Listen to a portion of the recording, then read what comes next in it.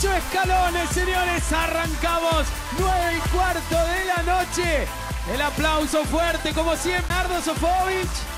Hola, lindo comienzo tengo hoy, ¿eh? Lindo arranque con final y hoy en los ocho escalones, Tete Custarot. Felicitaciones doblemente nominado para el Martín Fierro. Muchas Muy gracias. bien, Guido. Muchas gracias. Tete arranca este programa. Tomás Calomino, 19 años, egresado del Nacional Buenos Aires.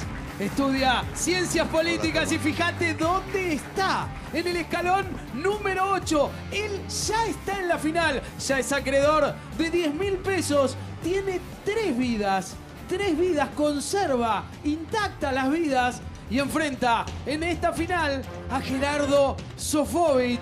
La primera pregunta. Y así arrancamos con clima de final. Para ver si Tomás Calomino gana los ocho escalones de ayer. Dos preguntas contestaste correctamente. O sea, que una tercera contestada correctamente le da 10 mil pesos más. Serían 20 mil. Las tres vidas, dos contestadas correctamente. Escalón número 8. Todo por delante para él en esta final. 19 años, egresado del Nacional Buenos Aires. Tomás Calomino, la primera pregunta para vos, cuando son las 9 y 16 de la noche. La pregunta es, según la AFA, ¿cuál de estos equipos ganó la mayor cantidad de torneos de primera división en la era profesional? Las opciones son Independiente, San Lorenzo, Racing o Vélez. Según la AFA, ¿cuál de estos equipos ganó la mayor cantidad de torneos de primera división en la era profesional? Independiente, San Lorenzo, Racing o Vélez. Bueno, eh, contesto la opción A, Independiente. Opción A, Independiente contesta Tomás Calomino, Gerardo Sofovich. Tu respuesta, por favor. Independiente. Independiente, también Gerardo Sofovich y sonríe. Tete Custarot, en el caso de ser correcta, tiene 10 mil pesos conservando las tres vidas para la final. La respuesta. El equipo que ganó la mayor cantidad de torneos de primera división en la era profesional. Independiente. Bien, muy bien. 10 Vamos. mil pesos más Vamos. para Tomás Calomino en esta final perfecta. Impecable. Impensada, me parece que inédita hasta el momento. Tomás Calomino de 19 años está en el escalón número 8. Resulta que contestó 3 correctamente, sumó 10 mil más. Ya tiene 20 mil. Pero además, además, conserva las tres vidas. ¿De quién es hincha? No, yo soy hincha de Boca, obviamente. Eh, mi abuelo, como Gerardo, ¿no? Hincha Ya de me Boca. parecías inteligente. Mi abuelo jugaba Pedro Calomino en la época amateur, en Boca. Por eso eh, la sangre de todos los Calominos es de Boca. La pregunta ahora para Calomino. Tomás, en este momento lo que tenés que lograr para ganar el juego es contestar bien y en alguna que Gerardo Sofovich pifie. Entonces, ganás los 50 mil pesos y además superás la prueba de los 8 escalones. Exitosamente la pregunta para vos ahora es... ¿Quién fue el creador de la mítica revista de humor Tía Vicenta? Las opciones son: ¿fue Andrés Casioli? ¿Fue Landru? ¿Fue Aquiles Fa- eh? ¿O Carlos Trillo? ¿Quién fue el creador de la mítica revista de humor Tía Vicenta? Andrés Casioli, Landru, Aquiles Fábregat o Carlos Trillo. Creo que me juegan contra la edad. Opción D. Opción D. Carlos Trillo. Carlos Trillo contesta. ah, Tomás Calomino dice que le juega en contra de la edad. Asentía Gerardo Sofovich. ¿Tu respuesta, Gerardo? Ah, el fundador fue Juan Carlos Colombre, que era el verdadero nombre del Andrú. Inolvidable para mí porque cuando yo tenía 18 años me dio la oportunidad, yo hacía dibujo humorístico en esa época mientras estudiaba arquitectura, y me dio la oportunidad de publicar mis dibujos en Tía Vicenta. La respuesta correcta. Landru. Ay, ay, ay, pierde una vida, pero bueno.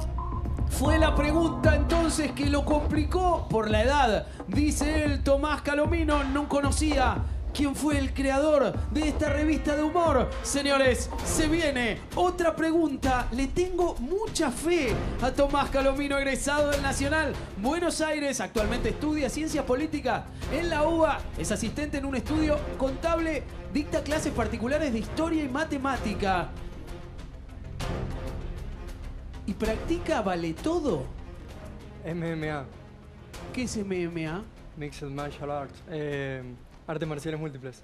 Es la disciplina en la cual la UFC es la disciplina más importante, como la primera división. O sea, es ese de la jaula. Exactamente, el hexágono. ¿Eso practicás?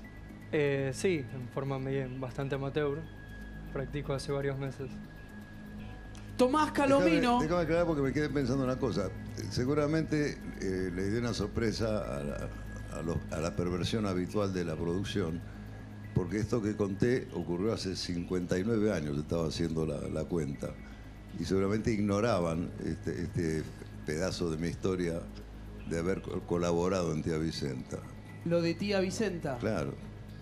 Noche de sorpresas, por un lado, Gerardo Sofovich, por el otro, Tomás Calomino, que con todo lo que hace, con todo lo que sabe, además, practica este deporte adentro de la jaula. Señores, 9 y 22, tremendo clima de final en los ocho escalones. Voy a hacer una cosa. Voy a guardar esta pregunta. Se la entrego ahí al escribano directo, eh. Nos vamos a ir a un corte. Llega el momento más colorido del programa. Llega el momento de Drean Design. El mejor lavarropas Drean. Ahora también es el más divertido. Mira al Drean Design.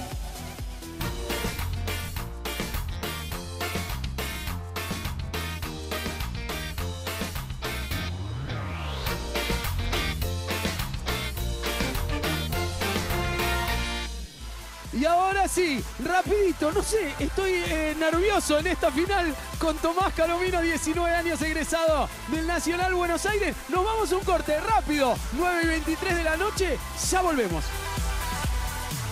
9 y 34 de la noche sigue la final de los 8 escalones con Tomás Calomino que ya tiene 20 mil pesos, pero va por los 50 mil pesos en este escalón número 8, en esta final para vos que te cuesta evitar comer entre horas y la torta de la heladera. Es tu obsesión, que empezaste la dieta y no podés pensar en otra cosa que en la comida. Laboratorio ILEA te presenta el Isopresol Chicles, el primer chicle para el control del apetito. El Isopresol Chicles contiene el exclusivo extracto de café verde e ingredientes de origen natural que te ayudan a cuidarte en las comidas y de tu fuerza de voluntad. Mastica uno o dos chicles durante 15 minutos en los momentos de tentación.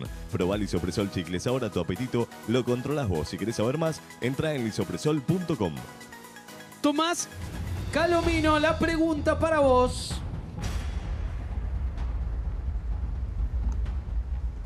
¿Qué profesión tenía el escritor Sansuperi antes de escribir El Principito?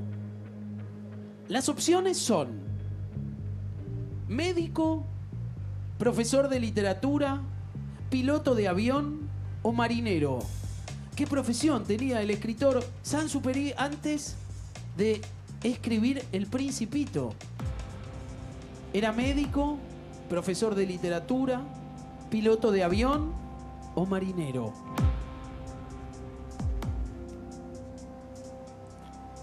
Bueno.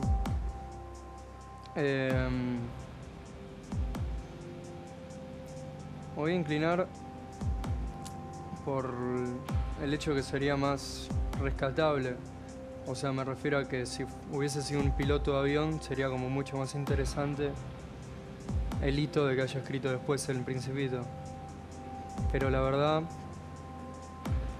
¿Puedo cambiarla? Todavía no lo dije. Todavía no- todavía no diste tu respuesta, Está bien. pero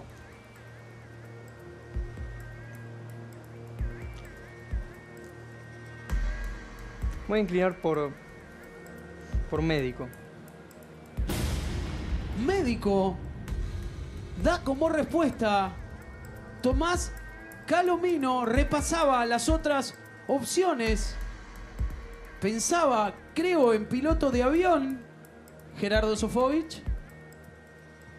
Estabas en, la línea correcta.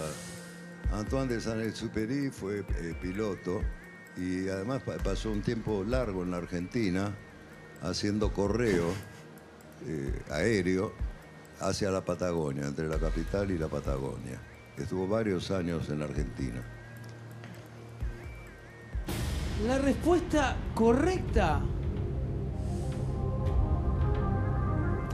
Piloto de avión. Bien rumbeado.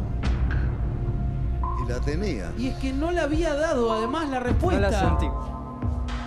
No la sentí, no sé.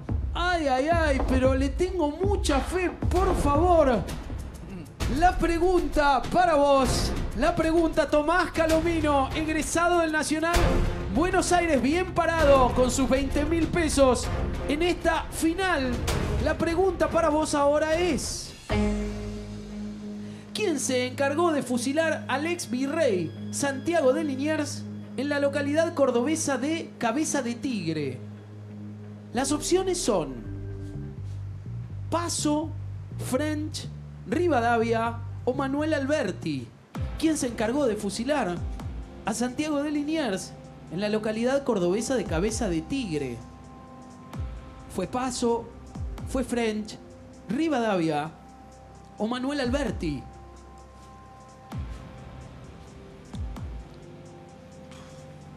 Recuerdo, recuerdo el fusilamiento, pero no. Me está costando conectarlo con. con el artífice del hecho. Ya descarto. Supongo que por una cuestión de ideales descarto Alberti. Tampoco me suena muy lógico Rivadavia.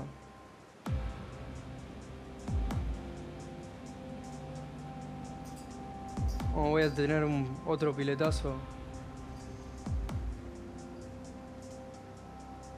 French. French, la respuesta de Tomás Calomino, piletazo, dice, contesta la opción B.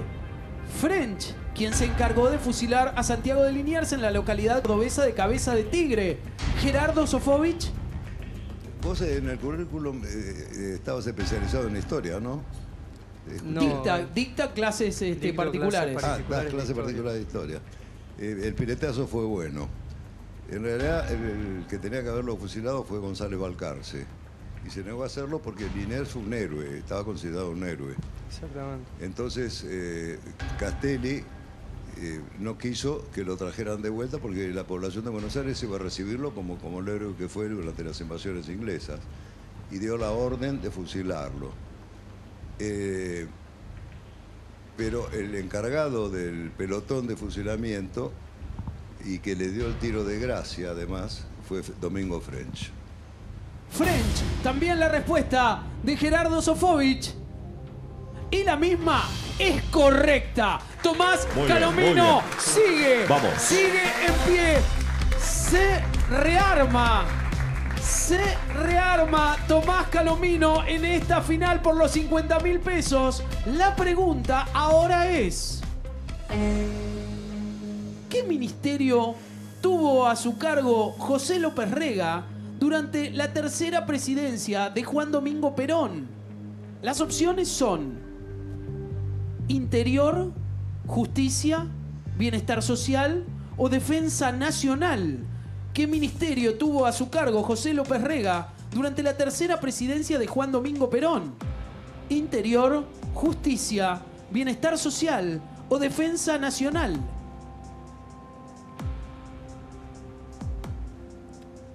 Pensándolo un poco porque la anterior me podría haber permitido responderla mal, pero por amor propio esta no la puedo responder mal. Entonces estoy tratando...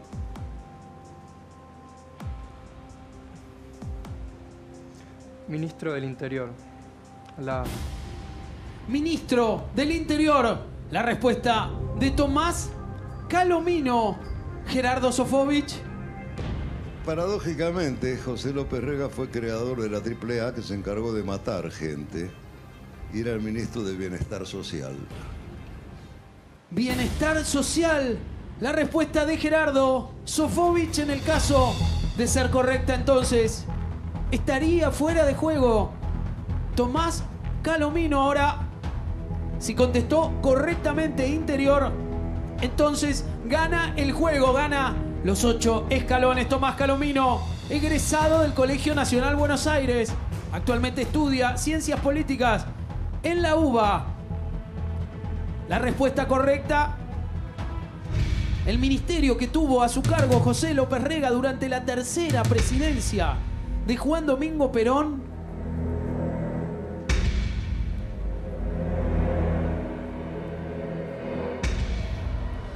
Bienestar social, fuera de juego.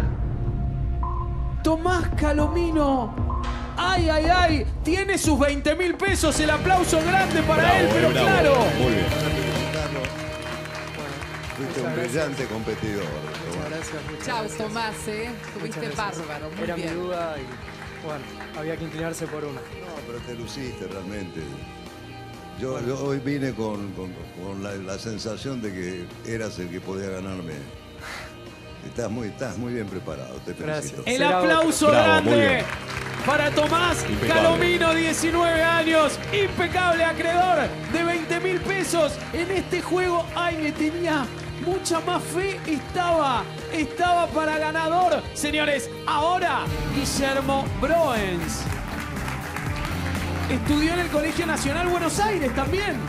Es licenciado en publicidad de la Universidad del Salvador. Fue profesor de comunicación social y de comunicaciones de marketing. La primera pregunta para Guillermo Broens es: ¿en dónde se encuentra el mojón del kilómetro cero de las rutas nacionales de Argentina? ¿Contra quién vas a jugar? No me puedo sustraer al encanto de esta mujer, así que con TT. Qué bien Empieza empezamos. Con TT Custarot. Sí, Las opciones son a ver. El mojón del kilómetro cero de las rutas nacionales argentinas es- se encuentra en Plaza de Mayo, en Plaza Congreso, en Plaza Lavalle o en el Obelisco. En Plaza Congreso. Plaza Congreso. Sí, señor. La respuesta dispara. Guillermo Broens, Tete Custarot, Yo también digo Plaza Congreso, la B. coincide. Y la respuesta es correcta. Escalón número 2 comienza a subir. La pregunta ahora para vos, para estar en el escalón número 3, en un clásico programa de televisión. ¿Qué actor cómico decía la frase Pedro Miembino? ¿Contra quién vas a jugar? Eh, contra Gerardo. va con Gerardo Sofovich. Las opciones son el actor cómico que decía la frase Pedro, mirá quién vino. Era Jorge Gisburg, Alberto Olmedo, Tato Bores o Juan Carlos Calabró. En un clásico programa de televisión, ¿qué actor decía la frase Pedro, mirá quién vino? Creo que era Juan Carlos Calabró. Juan Carlos Calabró, Calabró. la respuesta de Guillermo Broens. Gerardo Sofovich. Yo creo lo mismo, porque durante años hice el contra con Juan Carlos, con el, mi Es lo que te iba a decir, vos hacías el programa con él, claro. inolvidable amigo Juan Carlos Calabró. Cada vez que yo entraba al bar, él decía, Pedro, mirá quién vino. Claro, ahí está. Bueno, gracias, Gerardo. La respuesta correcta, Juan Carlos Calabro. Escalón Bravo. número Muy bien. 3. Avanza, avanza. La pregunta ahora para llegar a la mitad al escalón número 4. Para Guillermo Broens, licenciado en publicidad, la pregunta es... ¿Cuál de estos países no es miembro de la UNASUR? ¿Contra quién vas a jugar? Contra TT. Elige a TT Custarot. Uno y uno hace hasta el momento. Las opciones son: no es miembro de la UNASUR, Bolivia, Venezuela, Cuba o Colombia. ¿Cuál de estos países no es un miembro de la UNASUR? Bolivia, Venezuela, Cuba o Colombia.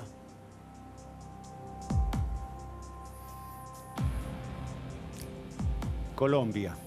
Colombia, la respuesta de Guillermo Broens, TT Custarot, Colombia, sí, la D. coincide con Guillermo en Colombia, el país que no es miembro de la UNASUR. Gerardo, ¿qué hubieras contestado? No, sin ninguna duda. Además, la UNASUR estuvo de moda estos días porque Nicolás Maduro la convocó, porque además tiene presidentes amigos. Eh, es Cuba la que no pertenece a UNASUR. Cuba. Hubiera respondido Gerardo. La correcta. Cuba. Cuba. Qué lástima. Pero aquí no ha pasado nada porque coincide en la respuesta. TT Custarot, entonces quedás en el mismo lugar, no perdés ninguna vida. La pregunta para vos ahora es: ¿Cuál de estas palabras no se encuentra en el diccionario de la Real Academia Española? ¿Contra quién vas a jugar? Con TT. Nuevamente. Por fin. No te tocó la Real Academia. Juega con TT Custarot. Las opciones son. No está en el diccionario de la Real Academia Española la palabra intencional, huevos, salpullido o magullar. ¿Cuál de estas palabras no se encuentra en el diccionario de la Real Academia Española? Intencional, huevos, salpullido o magullar. Hay tres palabras que están, que figuran en el diccionario. Son este, opciones raras. Intencional creo que se escribe con C. Sí. Huevos creo que se escribe con H y U. Sarpullido es con R. Puede haber una versión con L. Por eso me confunden las, las Es opciones. lo que siempre digo de las locuras que está cometiendo la Real Academia Española. Aceptando. Claro. por un lado se justifica porque aceptan el, el- el hablar popular Claro, el de los países americanos, Claro. pero es así de confusa la, la- son las, las opciones. Hay una palabra que no se encuentra. Las otras tres están. Por favor, que no charlen entre, entre Tete y Gerardo. Perdón. Guillermo, una de estas palabras no se encuentra en el diccionario de la Real Academia Española. Las opciones, intencional, sí, con S, huevos, sí, sin H, con B larga, sal, pullido y magullar. Magullar. Hay tres que están en el diccionario, Y- hay una... Y magullar es con Elie, con doble L. Por eso eh, son cuatro que tienen sus versiones clásicas y otra forma de escritura que son estas cuatro. Intencional, huevo, salpullido y magullar. Bueno, eh, huevos. Huevos.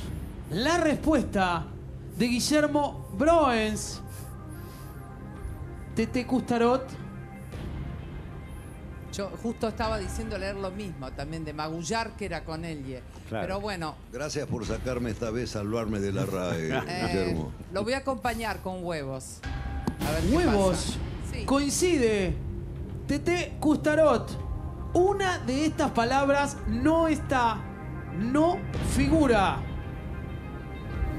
Resulta que la palabra intencional con S está, figura en el RAE.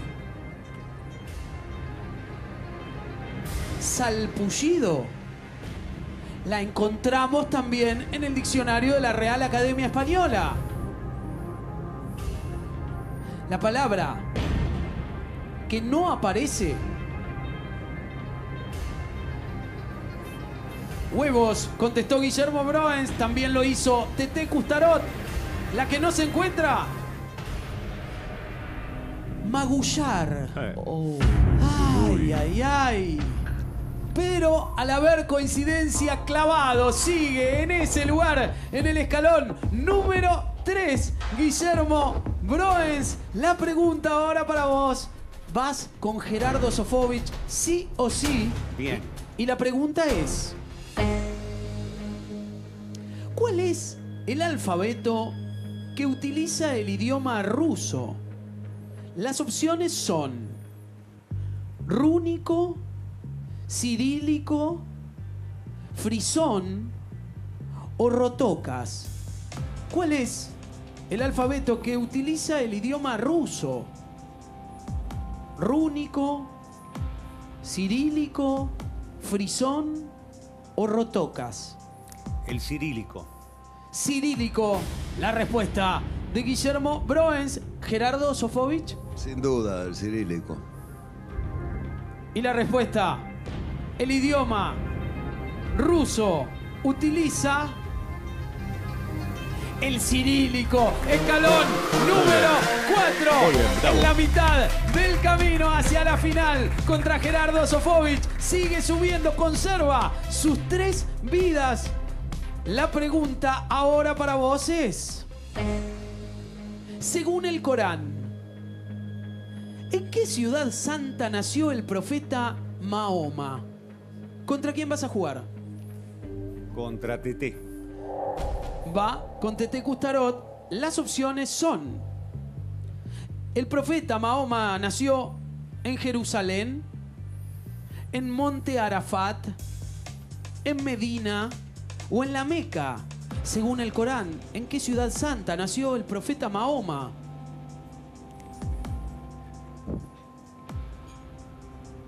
Bueno. La cuestión está entre Medina y la Meca, que son las dos ciudades santas de los musulmanes. Eh,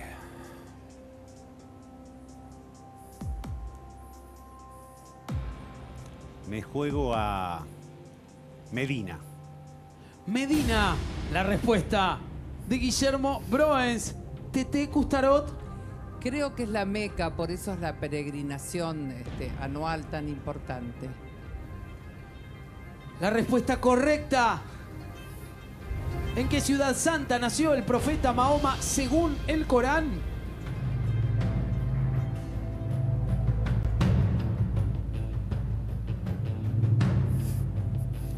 La Meca. Ay, ay, ay. Ay, ay. Ahí estaba ahí. Claro. Desciende. Pensé, pensé en los viajes de Mahoma y las batallas y todo lo que sucedió durante su vida. Y bueno, podía ser una de las dos. Claro. Qué lástima, desciende entonces un escalón, pero conserva dos vidas. La pregunta ahora, la pregunta para vos, la pregunta es, ¿en qué provincia nació el boxeador argentino Marcos el Chino Maidana? ¿Contra quién vas a jugar? Contra Gerardo. con Gerardo Sofovich. Las opciones son: Marcos el chino Maidana nació en Corrientes, en Santa Fe, en Entre Ríos o en Santiago del Estero. ¿En qué provincia nació el boxeador argentino Marcos? El chino Maidana.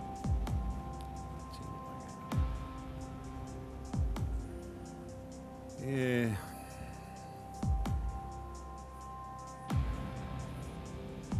vamos por Corrientes. Corrientes.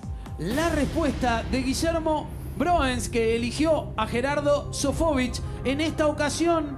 Gerardo, Creo que te equivocaste de avenida. Además se ha escrito y todavía lo que se va a escribir y lo que se va a ver en televisión sobre Maidana en estos últimos tiempos. No lo tengo. eh, es, eh, por eso te digo, es la otra avenida, Santa Fe. Bueno, Santa Fecino. la respuesta correcta.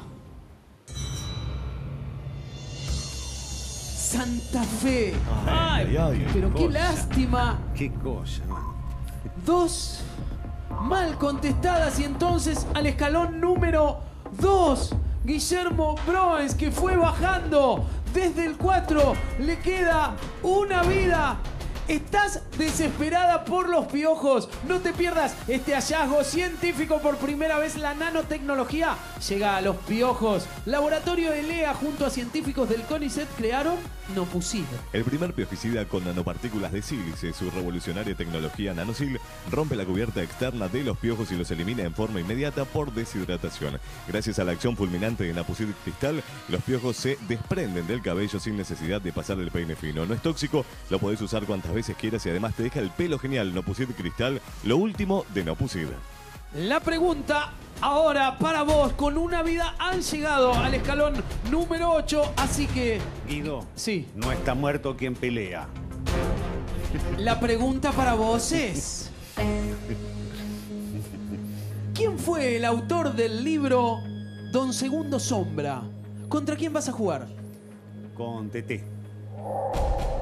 Las opciones son Ricardo Guiraldes, José Hernández, Estanislao del Campo o Esteban Echeverría. ¿Quién fue el autor del libro Don Segundo Sombra?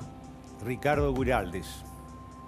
La respuesta entonces de Guillermo Broens, Ricardo Guiraldes como autor de Don Segundo Sombra, Tete Custarot. Coincido, Ricardo Guiraldes. La La respuesta, la correcta, Ricardo Huiraldes, dando pelea, vuelve al escalón Vamos. número 3, Guillermo Broens. Cuando casi son las 10 de la noche, la pregunta para vos es... ¿Cómo se llamó la operación que realizó el gobierno de Estados Unidos con el objetivo de matar a Osama Bin Laden? ¿Contra quién vas a jugar? Contra Gerardo. Las opciones son Ciclón, Noche Negra, Zorro del Desierto o Jerónimo. ¿Cómo se llamó la operación que realizó el gobierno de Estados Unidos con el objetivo de matar a Osama Bin Laden?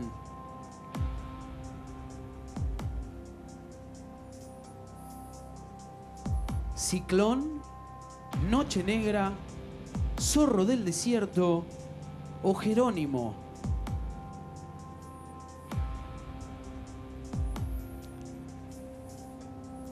Zorro del Desierto fue otra operación norteamericana. Ciclón creo que no.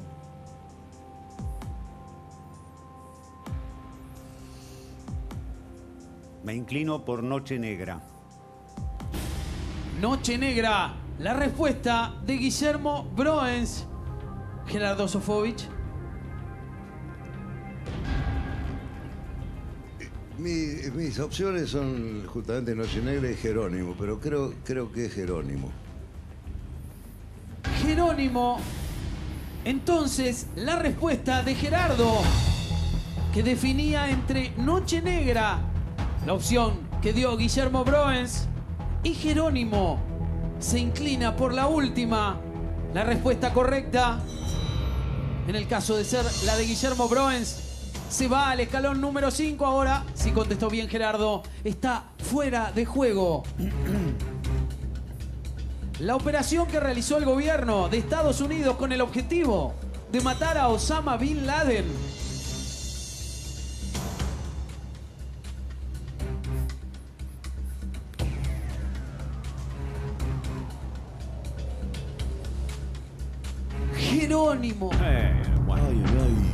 Contesta bien. Una vez más, Gerardo Sofovich. Y entonces estás fuera de juego, Guillermo Broens, Muchas que gracias. hizo un muy buen papel. Muchas gracias, Guido. Gracias a vos, Guillermo. Qué lástima no pudo pasar de la mitad de estos ocho escalones. Señores, es el momento de Alejandra Cohen, licenciada en Ciencias Políticas en la Universidad de El Salvador. La pregunta para vos, la primera. Alejandra, la pregunta es, A ¿en ver. qué deporte se destacó Daniel Scioli, el actual gobernador de Buenos Aires? ¿Contra quién vas a jugar? Contra Gerardo. Con Gerardo Sofovich. La primera, las opciones son motociclismo, automovilismo, fútbol o motonáutica. ¿En qué deporte se, se destacó Daniel Scioli?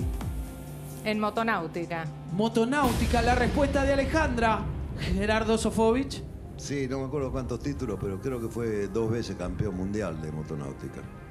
Motonáutica, entonces, coincide. La respuesta es correcta. Motonáutica. Motonáutica, escalón número 2. Y sube. Arranca bien, Alejandra. La pregunta para vos ahora es: ¿De qué provincia argentina fue gobernador Eduardo César Angelos? ¿Contra quién vas a jugar? Contra TT. Las opciones son Santa Fe, Corrientes, Córdoba o La Pampa. ¿De qué provincia argentina fue gobernador Angelos? De Córdoba. Córdoba. La respuesta, Alejandra Cohen. Tete Custarot. Con el mismo tono de seguridad de ella, Córdoba también.